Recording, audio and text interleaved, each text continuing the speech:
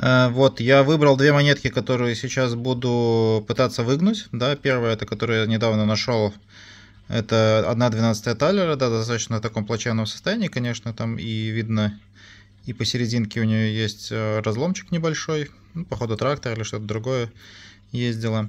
И вот от одного друга еще получил э, монетку на выпрямление, немножко на почисточку. Это полу не, полторак э, Августа Толстого, 1754, по-моему, или 56 год, у него там 56, по-моему, был год. Да, 56 год. Вот, она тоже такая погнутая, видно, лежала где-то на дороге. И немножко ее погнула. И я выгибаю такие монетки не просто так, я их нагреваю и тогда выгинаю, тогда немножко легче. А, вот такие пол полтораки, как этот, э, э, они не из чистого серебра, да, то есть там, э, во-первых, серебро очень низкой пробы, оно тонкое, и, во-вторых, они очень часто бывают еще, что покрывались серебром. Поэтому чисто сильно нагревать ее нельзя, она может потрескаться. Поэтому нагреваем ее очень э, внимательно. Сейчас я покажу, как это все делается. Все разжигаю газ, да, то есть нагреваю. Я не напрямую, само собой, напрямую на огонь нельзя класть монетки. Пускай она пока что нагреется немножко, потом мы положим туда монетку. То есть у нее не будет напрямую прямой контакт, у нее будет контакт только с металлом, который там внутри нагрелся. То есть он не будет перегреваться, а нагреется до более-менее нужной температуры. Сколько? К сожалению, вот, я так подготовился отлично, что заметил, что молоточка у меня нету. Я его унес, к сожалению, в, другую, э, в другое место. И сейчас дома его нету, да, и поэтому мне придется пользоваться менее удобным, само собой, инструментом, да. Но я думаю, так же самое он отлично подойдет. Э, пока монета нагревается, что я делаю? Я кладу на дощечку. Да, дощечка у меня, ну, считается, что лучше всего из березы, да, у меня она из сосны нашей латвийской. То есть мне ничего так плохого от этого я никогда не видел, что она сосны. Так, монетка нагрелась. Само собой, монетка нагревается до такой температуры, что ручками ее трогать не надо. Ну, не стоит. Можно один раз, как обычно. Один раз потрогал и понял. Так, пока монетка горячая, берем какой-нибудь. Не надо брать толстый, надо брать такой тоненький. Потихонечку ее выгибать. Пока монетка нагретая, она выгибается намного приятнее. При этом из-за того, что дерево по дереву, да, никаких следов от, э, от ударов не остается. Само собой, следы от э, там, где было погнуто, с ними ничего не сделаешь. Да, то есть эти следы будут видны. На таких более хороших, более толстых монетах, может быть, и не видны. Особенно если сверху потом положишь оксидную патину. А на этих, на тоненьких всяких монетках, ну там ничего не сделаешь. Они почти что переламываются насчет, за счет этого. Надо побольше газа подать. Главное не перегреть тонкие монеты. Если тонкие, тонкие монеты желательно чуть-чуть положил, вытащил. Ну, я сейчас покажу. Толстые монеты, они более-менее устойчивые. Тут они, у них большое, большое количество серебра.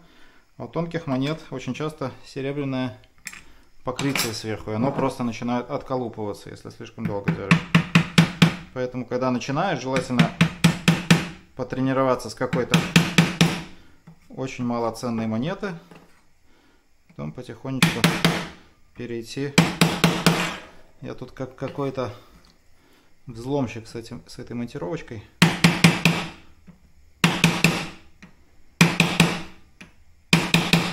Стучит так сильно просто потому, что у меня кух, кухонный стол обычный, бью я не так сильно, как кажется, и потому что на нем еще валяется несколько вещей всяких.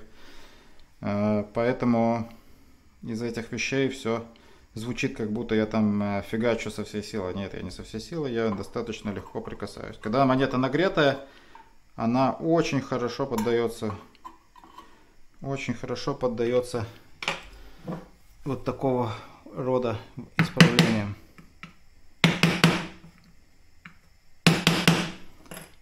Я иногда беру другие эти, другого типа инструменты, которые более широкие.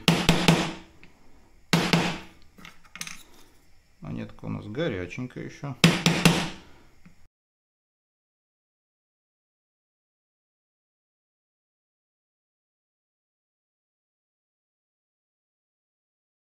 Так, теперь берем нашу эту монетку. Она уже из низкопробного серебра. Это достаточно редкие монеты, да. Но в те времена это была проходная монета. Она, по-моему, чеканилась только два года, 55-56 год.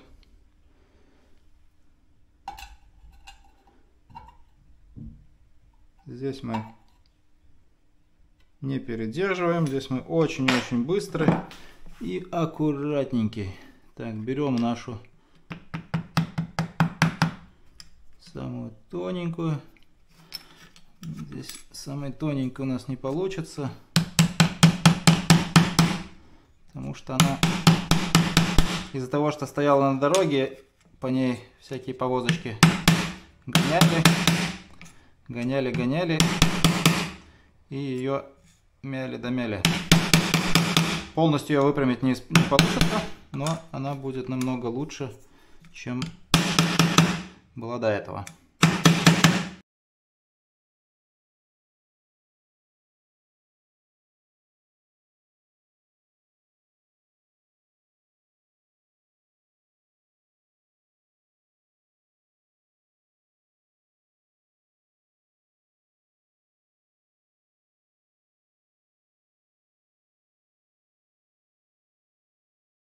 Так, наш э, полторак, полторак толстого.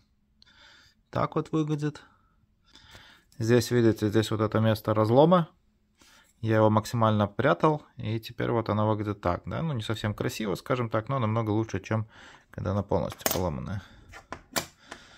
Так, задница у нас выглядит вот так, как всегда видим, все три герба которые примерно около этого 1763 года ходили у нас в Латвии.